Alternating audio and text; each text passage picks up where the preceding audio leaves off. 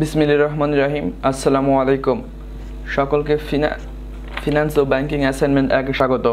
আজকে আমরা ফিনান্স ও ব্যাংকিং এসএসসি দু হাজার একুশের যে ফিনান্স ও ব্যাংকিং অ্যাসাইনমেন্ট প্রথমটি দিয়েছে, সেটি সবার আলোচনা করব। এটি যদি আপনার লেখা হয়ে যায়, দেখার দরকার নেই। কিন্তু যদি দ্বিতীয় নম্বরটি লেখা হয়ে যায় তবু শেষের অংশটি অবশ্যই দেখবেন, কারণ অনেকেরই ভুল যেতে পারে।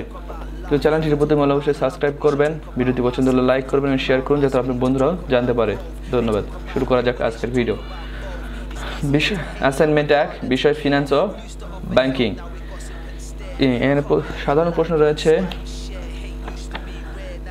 আর্থিক ব্যবস্থাপকের সিদ্ধান্ত গ্রহণের ক্ষেত্রে তার অর্থায়ন ব্যবস্থাপনার বিষয়ে জ্ঞান সহায়ক বিষয়টির যৌক্তিকতা নিরূপণ। সাধারণ প্রশ্ন। তাছাড়া রয়েছে আমাদের মোট চারটি প্রশ্ন, পাঁচটি প্রশ্ন। পাঁচটি প্রশ্নের মধ্যে কোনোটি আমাদের অঙ্কের প্রশ্ন নাই, সবগুলোই জ্ঞানমূলক বা থিওরিক্যাল চলুন শুরু করা যাক। আর্থিক ব্যবস্থাপকের সিদ্ধান্ত গ্রহণের ক্ষেত্রে তার অর্থায়ন ব্যবস্থাপনা বিষয়ে জ্ঞান সহায়ক বিষয়টির যৌক্তিকতা নিরূপণ। নিরূপণ করা হলো সমস্যা যে লিখবে। প্রথম প্রশ্ন রয়েছে, অর্থায়নের ধারণা। অর্থায়ন। অর্থায়ন বলতে তহবিল তহবিল সংগ্রহ ও ব্যবহার সংক্রান্ত প্রক্রিয়াকে বোঝায়। অর্থায়ন তহবিল ব্যবস্থাপনা নিয়ে কাজ করে, কোন উৎস থেকে কি পরিমাণ তহবিল সংগ্রহ করা হবে, কীভাবে বিনিয়োগ করলে সর্বোচ্চ মুনাফা পাওয়া যাবে, অর্থায়ন সেই সংক্রান্ত সেই সংক্রান্ত পরিকল্পনা প্রণয়ন ও বাস্তবায়ন করে। ব্যবসা প্রতিষ্ঠানে বিভিন্ন ব্যয়, যেমন যন্ত্রপাতি, ক্রয়, বেতন কাঁচামাল ক্রয়, স্থায়ী সম্পদ ক্রয় ইত্যাদি মেটানোর জন্য যে তহবিল প্রয়োজন, সে তহবিল কোথা থেকে আসবে এবং কীভাবে ব্যয় করলে উৎপাদন প্রক্রিয়া অব্যাহত থাকবে অর্থায়ন সেই সংক্রান্ত পরিকল্পনা প্রণয়ন ও বাস্তবায়ন করে। উদাহরণ, কোনো চাল কলে কে কেউ ধান বহন করছে, কেউ ও মেশিন দেখাশোনা করছে, আবার কেউ চাল প্যাকেট করছে বা বস্তাজাত করতেছে। যেটা দিবেন সেটাই হবে।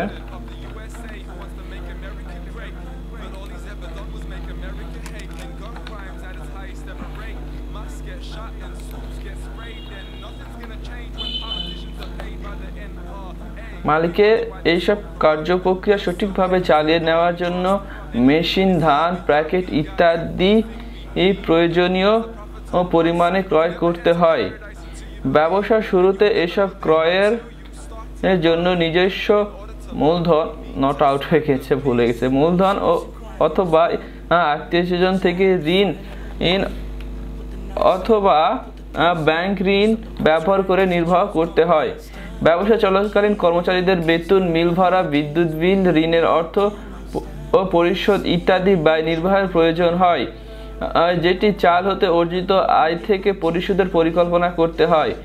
চালকল মালিক প্রত্যাশা, চালকল মালিকের রক্ট হয়তো মালিকের প্রত্যাশা থাকে, ব্যবসার আয় থেকে ব্যবসার ব্যয় নির্বাহের পরে কিছু মুনাফা থাকবে যা দিয়ে সে তার পরিবার পরিচালনা করতে পারবে। ব্যবসা সম্প্রসারণ করতে পারবে। উপরোক্ত কাজগুলো সুষ্ঠুভাবে পরিচালনার জন্য পরিকল্পনা মাফিক তহবিলের উৎস নির্ধারণ ও ব্যবস্থাপনা করতে অর্থায়নের ধারণা সহায়তা করে। এটি আমাদের ক নম্বর প্রশ্ন শেষ। বা এখানে ক নম্বর নাই সিরিয়ালে প্রশ্নগুলো দেওয়া আছে। পরের প্রশ্ন হচ্ছে, কারবারি অর্থায়নের গুরুত্ব। অর্থায়নটার গুরুত্ব।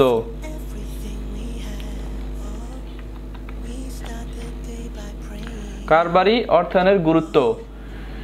সুচিন্তিত ও সুদক্ষ অর্থায়ন ব্যবস্থাপনার ব্যবহারের ব্যবহারের প্রতিষ্ঠানের ঝুঁকি হ্রাস পায় ও মুনাফা বৃদ্ধি হয়। বাংলাদেশের প্রেক্ষাপটে অর্থায়ন সম্পর্কিত ধারণা বিশেষ গুরুত্ব বহন করে।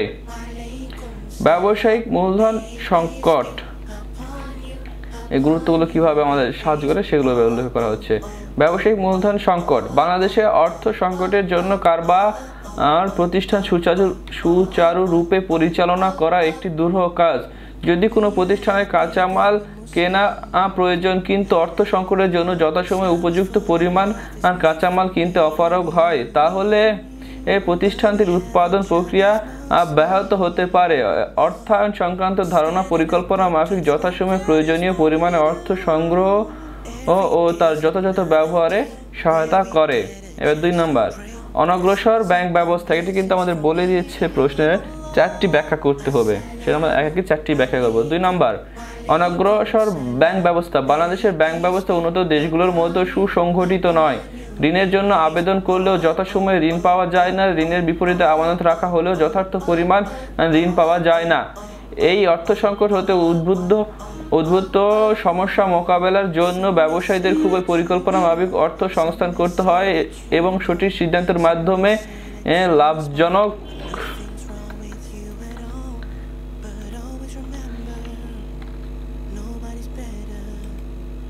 লাভজনক ব্যবহার প্রয়োজন। সঠিক সিদ্ধান্তের মাধ্যমে লাভজনক ব্যবহার প্রয়োজন।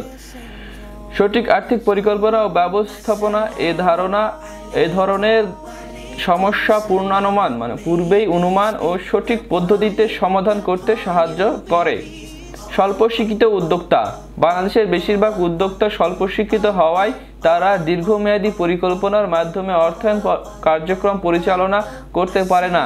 এজন্য অনেক সময় লাভজনক প্রতিষ্ঠান অর্থায়নের অভাবে অর্থ সংকটে এ পড়ে ক্ষতির সম্মুখীন হয়।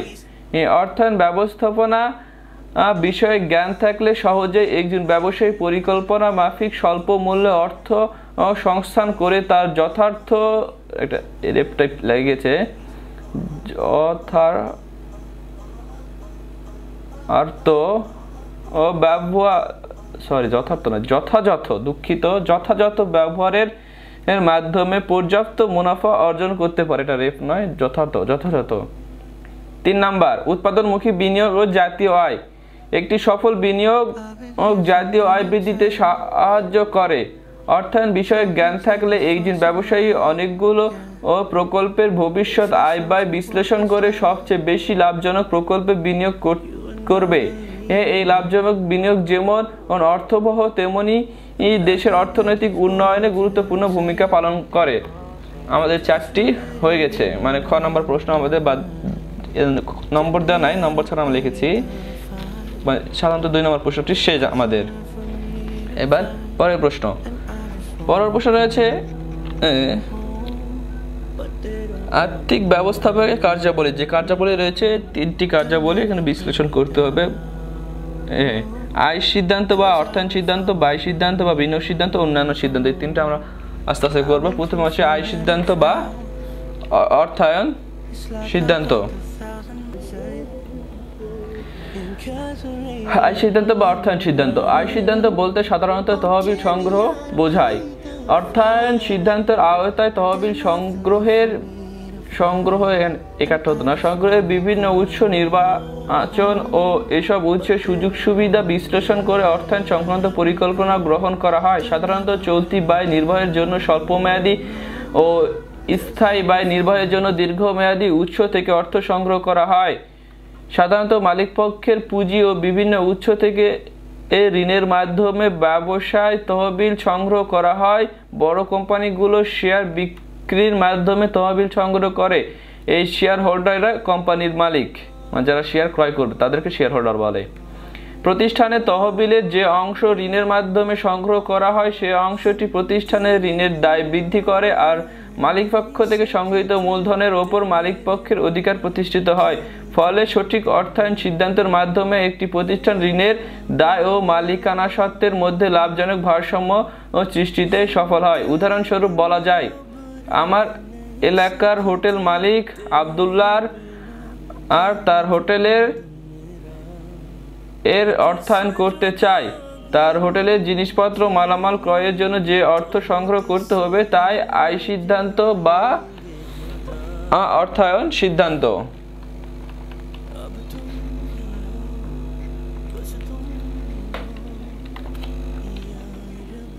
বা অর্থায়ন সিদ্ধান্ত। এবার বাই সিদ্ধান্ত বা বিনিয়োগ সিদ্ধান্ত।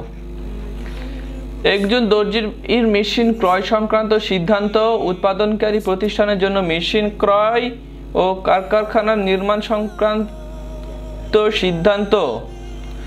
এবং মুদির দোকানে আসবাবপত্র ক্রয়, আর একটা কিছু দেওয়া যেতে পারে, রেফ্রিজারেটর ক্রয়, এরকম কিছু একটা দু একটা বেশি বাড়ানো যেতে পারে। ক্রয় সংক্রান্ত সিদ্ধান্ত একটি বিনিয়োগ। এই সিদ্ধান্তের মাধ্যমে প্রতিষ্ঠানের আগমন ও নির্গমন পরিকল্পনা করা হয়। যেমন, মুদি দোকানে রেফ্রিজারেটর ক্রয় সিদ্ধান্ত, ক্রয় সংক্রান্ত সিদ্ধান্ত হয়। যদি পণ্য সামগ্রী বিক্রি পূর্বের তুলনায় বৃদ্ধি পায়, এতে করে যদি মুনাফা ও নগদ প্রবাহ বৃদ্ধি পায় এবং সর্বমোট নগদ প্রবাহ যদি মেশিনে ক্রয় মূল্য থেকে বেশি হয়, তাহলে এই জিনিসটা ক্রয় করা যাবে, ক্রয় সিদ্ধান্ত নেওয়া হবে। এই শর্তগুলো পূরণ করতে হবে।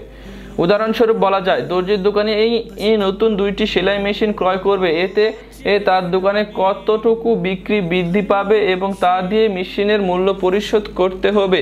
যদি তা সম্ভব হয়, তবে সে বিনিয়োগের সিদ্ধান্ত নিবে। আর এই সিদ্ধান্ত নিতে বাই সিদ্ধান্ত বা বিনিয়োগ সিদ্ধান্ত সাহায্য করে বা সহায়তা করে। আর আমাদের একটি থাকে, সেটি হচ্ছে অন্যান্য সিদ্ধান্ত। আমাদের অলরেডি দুইটি হয়ে গেছে আগে থেকে অন্যান্য সিদ্ধান্ত। উপরোক্ত দুই সিদ্ধান্ত আর্থিক ব্যবস্থার জন্য সর্বাপেক্ষা গুরুত্বপূর্ণ। এছাড়াও আর্থিক ব্যবস্থাকে আরও সিদ্ধান্ত নিতে হয়। যেমন, কি পরিমাণে কাঁচামাল ক্রয় বা প্রতিষ্ঠানের জন্য, জন হয়ে গেছে জন্য দরকার, সেই অর্থ কোথা থেকে সংগ্রহ করা যাবে এই সংক্রান্ত সিদ্ধান্তকে চলতি বিনিয়োগ সিদ্ধান্ত বলে। দৈনন্দিন প্রয়োজন নির্বাহ করার জন্য কি পরিমাণ নগদ অর্থ দরকার সেটাও গুরুত্বপূর্ণ সিদ্ধান্ত। যেসব উৎস থেকে তহবিল সংগ্রহ করা হয়েছে তাদের প্রাপ্য প্রদান করা আরেকটি সিদ্ধান্ত। ব্যাংক ঋণ বা অন্যান্য ঋণ থেকে তহবিল সংগ্রহ করলে নির্দিষ্ট পরিমাণে সুদ প্রদান ও শেয়ার বিক্রির মাধ্যমে তহবিল সংগ্রহ করলে মুনাফা প্রদান ইত্যাদি আর্থিক ব্যবস্থার জন্য গুরুত্বপূর্ণ বিবেচ্য বিষয়। উদাহরণস্বরূপ বলা যায় কোনো চালকল প্রতিষ্ঠানকে কি পরিমাণ ধান ক্রয় কর, ক্রয় করতে হবে, দৈনন্দিন প্রয়োজন মেটানোর জন্য কত টাকা প্রয়োজন, সুদ প্রদান, মুনাফা প্রদান ও ও ঋণের টাকা পরিশোধ ইত্যাদির জন্য যে সিদ্ধান্ত নেওয়া হয় তা অন্যান্য সিদ্ধান্তের আওতায় পড়ে। ভিডিওটি এত পর্যন্ত এতক্ষণ পর্যন্ত দেখার জন্য ধন্যবাদ। সবাই ভালো থাকবেন, চ্যানেলটি সাবস্ক্রাইব করবেন, ভিডিওটি লাইক করবেন এবং ভিডিওটি শেয়ার করুন যাতে আপনার বন্ধুরা জানতে পারে। ধন্যবাদ, আল্লাহ হাফেজ।